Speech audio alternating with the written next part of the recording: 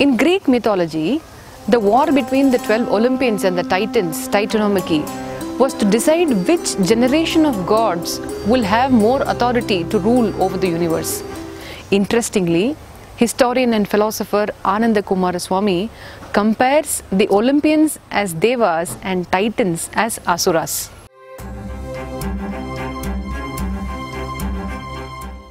Kanda Puranam explains in detail about the purpose of the birth of Lord Subramanya was to wage war against the Asura, in this context Surapadman and the entire Asuri clan in Mahendrapuri.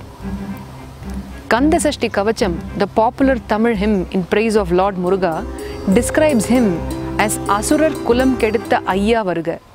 Quoting from the 16th chapter of the Bhagavad Gita, Dambo Darpo Abhimanascha Krodha Parushyameva Ajnanam Chabijatasya Partha Sampadamasurim meaning pride, arrogance, conceit, anger, harshness are all demonic qualities that begin to develop right from the womb of the mother and manifest all these inauspicious qualities as they grow.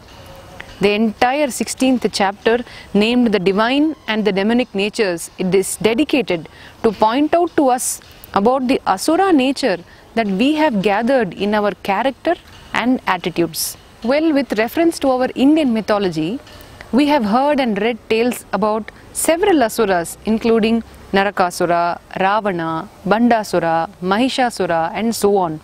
And all of them have been killed only after gods take a special form, avatar, or draw unique, incomparable power to destroy them.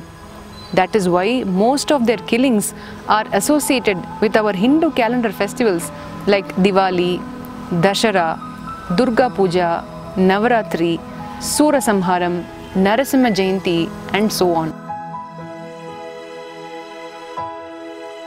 BouGainVilla Divine Channel's Temple Culture Research team came up with another insightful analogy drawing knowledge from the subject astrology.